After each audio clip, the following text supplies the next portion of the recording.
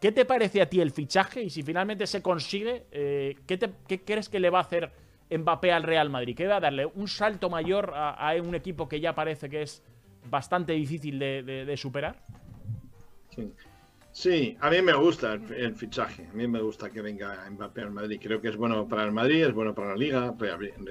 Nos, nos recoloca en esa. Habíamos caído un poquito en depresión al consumirse Cristiano y Messi parecía que la Liga Española bajaba. Bueno, pues ahora va, ahora yo creo que yo creo que sí va a venir Mbappé.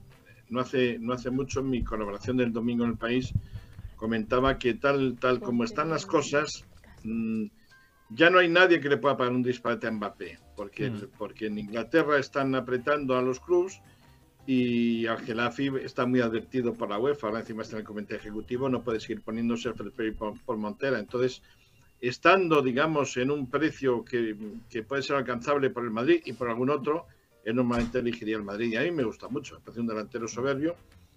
Eh, se le ven inconvenientes que realmente los tiene.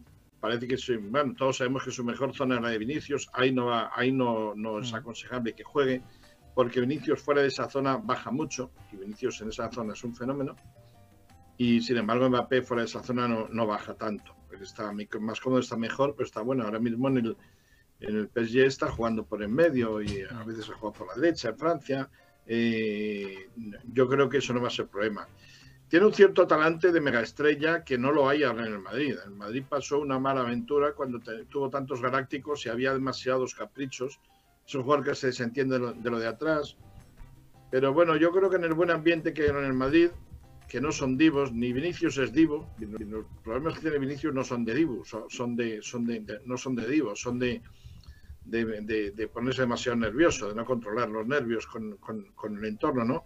Bellingham no es divo, tiene un poquito de Vinicius también, por cierto, es un pelín bronquista, pero no es divo, no hay divos, Cross no es divo, espero que siga un año, no es divo, y bueno, yo creo que yo creo que Mbappé se puede adaptar bien, a mí me parece una gran adquisición, vaya, me parece me parece muy buena, me parece una, una causa en la que poner pues otro crédito. El Madrid tiene que pedir otro crédito, pero, pero como el fútbol es fuerte, se lo darán y, me parece muy bueno.